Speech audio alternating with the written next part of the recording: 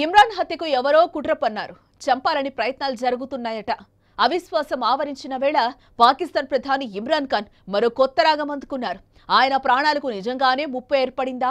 అంటే ప్రతిపక్షాలు మాత్రం అదేం లేదు ఇదో కొత్త డ్రామా అంటూ కొట్టిపడేస్తున్నాయి. మరోవైపు ప్రధాని ఇమ్రాన్ ఖాన్ బుధవారం సాయంత్రం జాతిని ఉద్దేశించి ప్రసంగిస్తారని అంతకుముందు పాక్ సీనియర్ మంత్రి షేక్ రషీద్ తెలిపారు. కానీ ఆయన నిన్న ఆర్మీ చీఫ్ బాజ్వాను కలిసిన వెంటనే నిర్ణయాన్ని మార్చుకున్నారు. నిజానికి పాకిస్తాన్లో చీమ చిటుక్కుమనాలన్నా దానికి ఆర్మీ నుంచి పర్మిషన్ ఉండాలి. అలాంటిది ప్రధాని ఇమ్రాన్ ఖాన్ దేశ ప్రజలను ఉద్దేశించి సైన్యానికి వ్యతిరేకంగా మాట్లాడతారని ఆర్మీ చీఫ్ బాజ్వాకు తెలుసు. అందుకే ఆయనకు నో చెప్పినట్టు సమాచారం.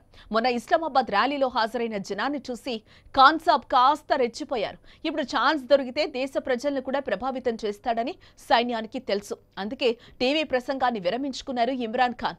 ఇప్పుడు తాజాగా ప్రాణాలకు ముప్పు అన్న అంశం దేశంలో హాట్ టాపిక్గా మారింది. ప్రధాని ఇమ్రాన్ ఖాన్ ప్రాణాలకు ముప్పు పొంచి ఉందని ఆయన హత్యకు కుట్ర జరుగుతోందంటూ పీటీఐ సీనియర్ నేత ఫైజల్ వాబ్దా మొదట సంచలన వ్యాఖ్యలు చేశారు. ప్రస్తుతం పాకిస్తాన్లో ఇమ్రాన్ టార్గెట్గా రాజకీయాలు వేడెక్కాయి. ప్రతిపక్షాలతో పాటుగా స్వపక్షంలోనూ ఇమ్రాన్ వ్యతిరేకులు ఆయన్ను ప్రధాని పదవి నుంచి దించేందుకు పావులు కదుపుతున్నాయి. ఇప్పటికే అవిశ్వాసం ప్రతిపాదించాయి. ఏప్రిల్ మూడున అవిశ్వాసం పైన ఓటింగ్ జరగనుంది. ఇమ్రాన్ లైఫ్ డేంజర్లో ఉందంటూ ఇమ్రాన్ హత్యకు కుట్ర జరుగుతోందన్న సమాచారం ఇంటెలిజెన్సీ వర్గాలు తమ ప్రభుత్వానికి అందించాయని పీటీఐ నేతలు చెప్తున్నారు. ఈ నేపథ్యంలో బుల్లెట్ ప్రూఫ్ షీల్డ్తో పాటు కార్లను సైతం ఉపయోగించారని నిఘా వర్గాలు ఇమ్రాన్ ఖాన్కు సూచించాయని చెప్తున్నారు. అయితే తాను చావుకు భయపడనని అంటున్నారని తోటి నాయకులతో చెప్పినట్లు స్థానిక మీడియా ఒక కథనం ప్రచురించింది.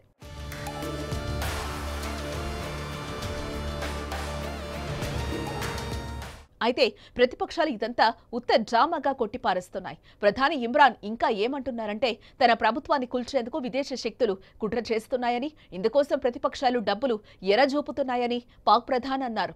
ఇమ్రాన్ ఇప్పటికే నాలుగేళ్ళ పదవీ కాలం పూర్తి చేసుకున్నారు. జాతీయ అసెంబ్లీని రద్దు చేసి ముందస్తు ఎన్నికలకు వెళ్ళే ఆలోచన చేస్తున్నారు. తన పార్టీకి చెందిన వారెవరూ అవిశ్వాస తీర్మాన సమయంలో ఓటింగ్కు వెళ్ళొద్దని ఆదేశించారు. ఇమ్రాన్ ఖాన్ నుంచి రాజీనామాను ఆశించని ప్రతిపక్ష కూటమి నేత పీఎంఎల్ఎన్ చీఫ్ షహబాజ్ షరీఫ్ తదుపరి ప్రధాన అయ్యే అవకాశం ఉందని తెలుస్తోంది. ఈ ఊహాగానాలు పాక్ రాజకీయ వర్గాల్లో జోరుగా చక్కర్లు కొడుతున్నాయి. ఇమ్రాన్ పై అవిశ్వాస తీర్మానానికి మొత్తం నూట అరవై ఒక్క మంది సభ్యులు అనుకూలంగా ఉన్నట్లుగా తెలుస్తోంది. ఇమ్రాన్ను పదవి నుంచి దించాలంటే ప్రతిపక్షాలకు నూట రెండు మంది సభ్యుల మద్దతు అవసరం. దీంతో పాకిస్తాన్లో చోటు చేసుకుంటున్న పరిణామాలు రోజురోజుకి ఉత్కంఠ రేపుతున్నాయి అవిశ్వాస తీర్మానంపై కీలక ఓటింగ్కు ముందు పార్లమెంటు దిగువ సభలో మెజార్టీ కోల్పోయిన క్రమంలో ఇమ్రాన్ ఖాన్ ఈ గండ నుంచి గట్టెక్కుతామని ఆశాభావం వ్యక్తం చేశారు. చివరి పంతి వరకు తాను పోరాడతానని ఖాన్ స్పష్టం చేశారు. ఇన్నాళ్ళు పాలకపక్షానికి మిత్రపక్షంగా ఉన్న ముతహిద క్వామీ మూవ్మెంట్ పాకిస్తాన్ విపక్షానికి మద్దతు తెలపడంతో పార్లమెంట్లో ఇమ్రాన్ ఖాన్ మెజార్టీ కోల్పోయారు. మూడు వందల నలభై రెండు మంది సభ్యులు కలిగిన పాకిస్తాన్ నేషనల్ అసెంబ్లీలో ఇమ్రాన్ ఖాన్ ప్రభుత్వానికి వ్యతిరేకంగా విపక్షాలు ప్రవేశపెట్టిన అవిశ్వాస తీర్మానం నెగ్గాలంటే విపక్షాలకు నూట రెండు మంది సభ్యుల బలం అవసరం. తాజాగా పాక్ విపక్షానికి నూట ఐదు మంది సభ్యులు మద్దతిస్తున్నారు. విపక్షాల బలం పెరగటంతో అవిశ్వాస పరీక్షకు ముందే ఇమ్రాన్ ఖాన్ పదవి నుంచి తప్పుకుంటారని భావిస్తున్నారు. ప్రధాని పదవిలో ఇమ్రాన్కు కొనసాగే అర్హత లేదని ఆయన రాజీనామా చేయాల్సిందేనని విపక్షాలు డిమాండ్ చేస్తున్నాయి.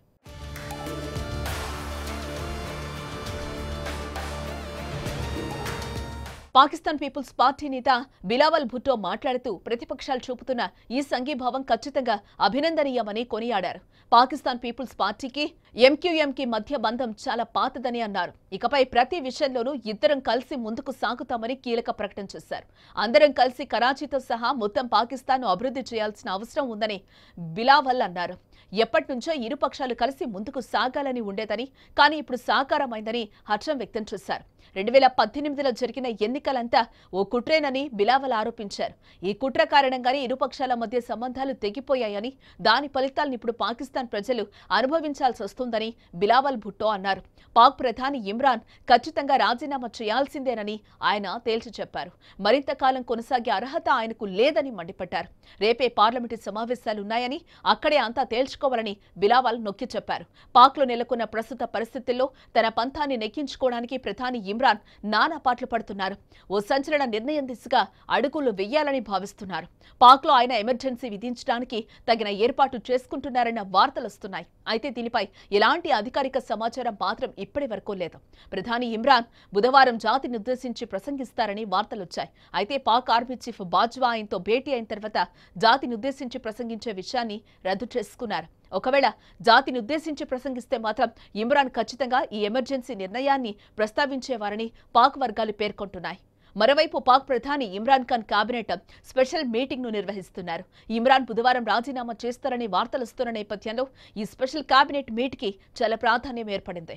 మరోవైపు ఆర్మీ చీఫ్ బాజ్వాతో భేటీ అయిన తర్వాత ఆయన జాతీయ భద్రతా కౌన్సిల్ సమావేశాన్ని కూడా నిర్వహించారు. ప్రస్తుత పరిస్థితులను చర్చించినట్లుగా తెలుస్తోంది.